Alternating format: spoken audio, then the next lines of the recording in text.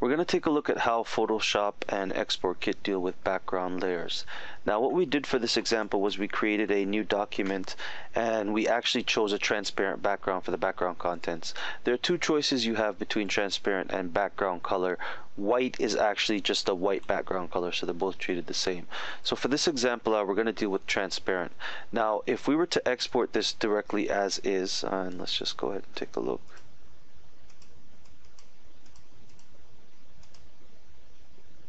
You'll see that nothing will happen. Now the problem is that what we did was we opened up a new file and we made changes but we didn't actually save that file. So we can just go ahead and save it. You'll see again nothing will happen. This is common with export kit. What you're going to have to do is if you create a brand new document you will have to close that document and reopen it. Now once the document is reopened we can begin our export. You'll see again nothing happens. Again this is a common uh, mistake what there is is there is no layer data present because what we have is an empty layer. Layer 1 by itself will not export anything. So what we'll need to do is we'll need to add content either to the layer so for instance text layer or respectively add another layer and then add content there. Now if we save this and we run it you'll see that it exports so this is one of the first errors that if you notice that nothing is happening uh, with your actual document. So if we take a look at the output itself now.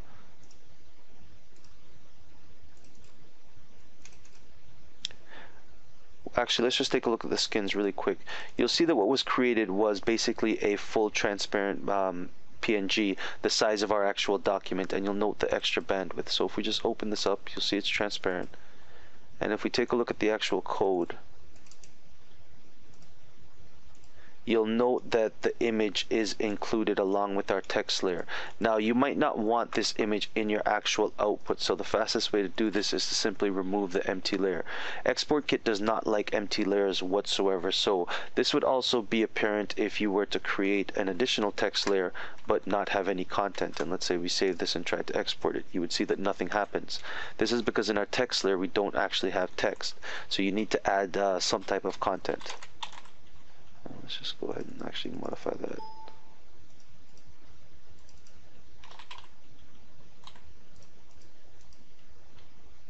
Oh, I guess there's no sizing on it. And there we go. Uh, let's just actually change it to text. So now that we have content, we can save this, and you'll see it'll export correctly. Now, you'll note that what we did was we actually changed the size and positioning of this text. What this is now is this is treated as paragraph text. Uh, that was the mistake I made when I actually clicked it. What I did was I dragged it rather than uh, just simply clicking it. Now, paragraph text is different from a label text basically.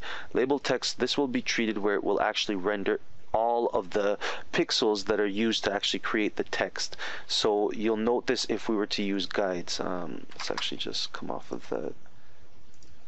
So if we use guides to actually show the uh, where the pixels are located, you'll see what it does is it covers the actual visible area of the text element.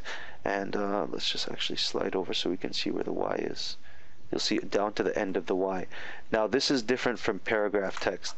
Uh, paragraph text, what it will do is it'll actually measure the area of the text element.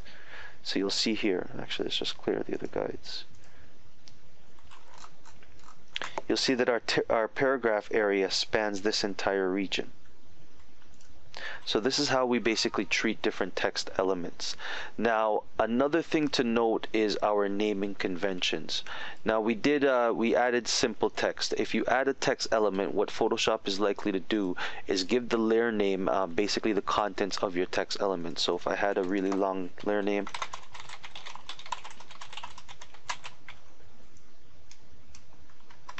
Photoshop will actually assign that as the layer name. But in your output, uh, you might not want this, and here's the reason why. If we were to export this as is, so let's just save our test,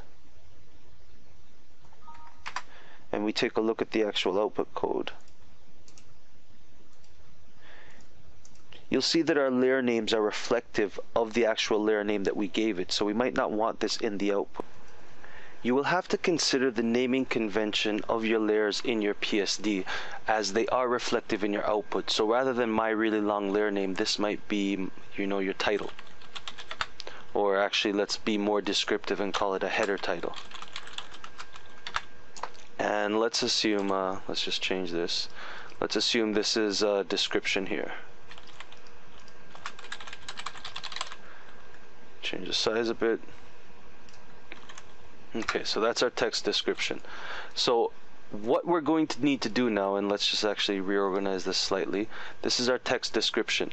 In our output, if we were to actually export this again, you'll note that now this will be reflective of our actual Photoshop layer names. So let's just go ahead and take a look at the code. So you'll see now we have text description and header title. This will make it easier to find layers in the output if you need to make additional changes after the export. Now the next thing we want to take a quick note is that what you need to do is organize your layers and your folders. Export Kit supports folders, so you need to have as many folders as possible. The more layers you have, the better, as it will keep your actual code extremely organized. So for instance, uh, here, what we might have is, let's say this is a content. So what we can do is simply group this, and let's call this uh, content. And in our content now, we have a header title, and we can just call this uh, title. Now, because we called it a header, possibly that this is the actual header information. So let's give this a group again.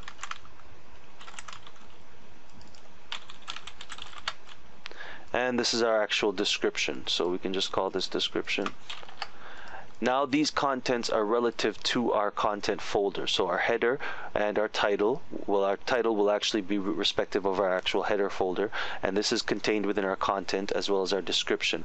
Now to get an organized output for instance if we were to export this as is let's take a look at it really quick you'll see that we still only get our individual layers but we do want to maintain our actual folder structure. So what we can do is if we hit customize and we enable relative positions and then we export.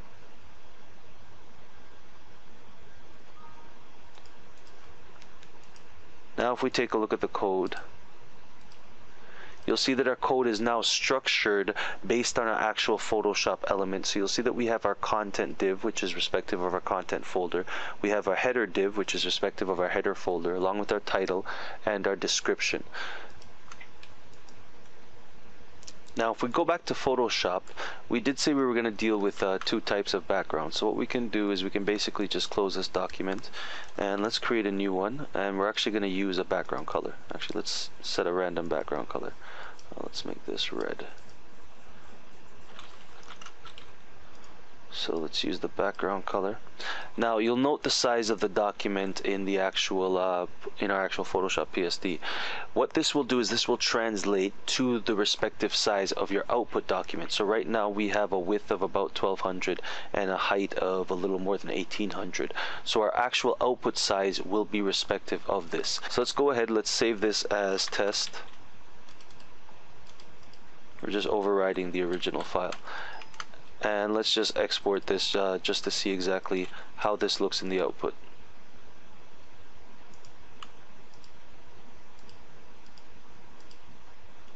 so you'll see nothing happens.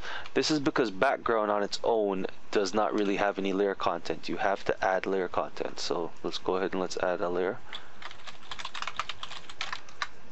Okay, so now that we have that, let's go ahead and save that and let's re-export you'll see nothing happened again.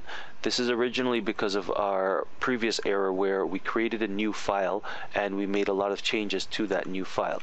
What you're going to have to do is save your document, close it, and reopen it. Now you can run the export. Now if we go to our actual output